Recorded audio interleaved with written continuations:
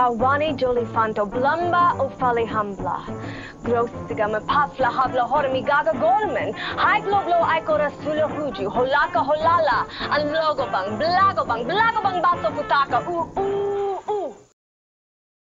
So, do you guys want to talk about High Fidelity? How do you want to talk about It was cute. It was fun. But it was like say anything, right? Kind Well, of. but he's only older. You know, yeah, he's playing one of those. It's like as if he's a female Julia Roberts doing his, you know, romantic a- comedy thing that he does best. Oh, right. More like a male Julia Roberts. So. Yeah. The movie got a lot of play as being, you know, sort of a record collector type Right. Yeah. thing, which it's not at all, in a lot of ways.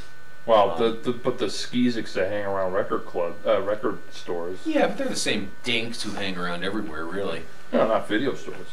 no, Okay, not what, at all. what did you think of when the guy was uh, uh, refiling? I believe Thurston was going through a similar crisis recently. You know, look, Thurston and I have been talking about filing systems of records for 15 years. you know, I wouldn't say nonstop. Well, that's why the movie was was very accurate in terms of things like that. No, it wasn't, but the details were wrong. No, but it was just the importance of it, like the weight of the fact the guy was refiling. The Yeah, idea that you that you're that you have a crisis in your life and you are a record collector, what you do is you refile your records. It's, it's you're sort of reorganizing your marbles in a way. The thing is, a, a record collector, to have your own collection, it's important to have it contextualized in a way that you only you understand. And that guy had uh, you know, he had bin cards with alphabetical stuff in his record collection. You know, nobody would have that in their own collection because you know where your own records are. you know, you have the thing divided up. That would only make it useful for somebody else, and you Right. never want anybody to be able to find anything That's true. really in your record collection.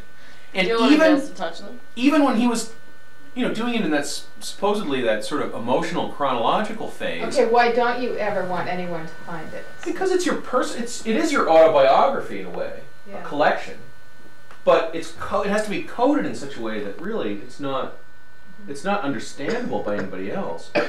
But the thing is, ha- he still had the he still had the damn letter divider cards in there when he was doing it by this emotional system. So what did he do? Like, oh, so all my F records, you yeah, know? but see, that's probably that's something tells you something about the character that emotionally there's something. No, it tells you those guys didn't know anything about real record collectors. really. You know, it was idiotic. Here, these guy, this guy who owns a record store, who's actually talking about how much he likes this 1975 Fleetwood Mac album. It's a mystery of human chemistry, and I don't understand it. You know that the chances of that happening are. this is kind of my milieu, like record scum guys, dealers and collectors, and they're all into very esoteric stuff, more or less, because you get so dulled by Right. people asking you about regular stuff. And, To uh, regard a late period Fleetwood Mac record, it was very sort of wrong. I didn't know it was pick on the middle-aged square guy day. My apologies. yeah, it should have been an early Fleetwood Mac record. Well, yeah, something weird, something, a little bit more before esoteric. Stevie Nicks, pre Stevie Nicks. Priest- Yeah, I Yeah. Well, I- a Christine I- McVie record or a Peter Green record would have been more appropriate. Yeah. Buckingham I, I think Nicks. you're Yeah. right about like I think in terms of like the, the the the reality of a real record dealer, I think you're right. But I think in terms of the movie, they were obviously just trying to make it so that people. I mean, They everybody were making it for a mainstream audience. Right. They didn't really care right. But you know, about the, mainstream audiences don't really care about record collectors.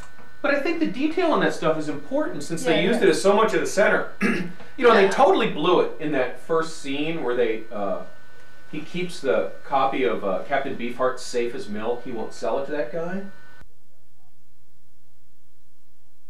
And he pulls out a copy of Safe as Milk, and you can tell right away from the way that the cover flops that it's like a later import pressing. And then when they pull it out to look at the label, you can see clearly that it's like a 1980s, like English pressing on PRT. Now, that's an album that has. Obviously. Well, that's an album that there are super collectible versions of that. The original American one has a printed inner sleeve plus a bumper sticker in it.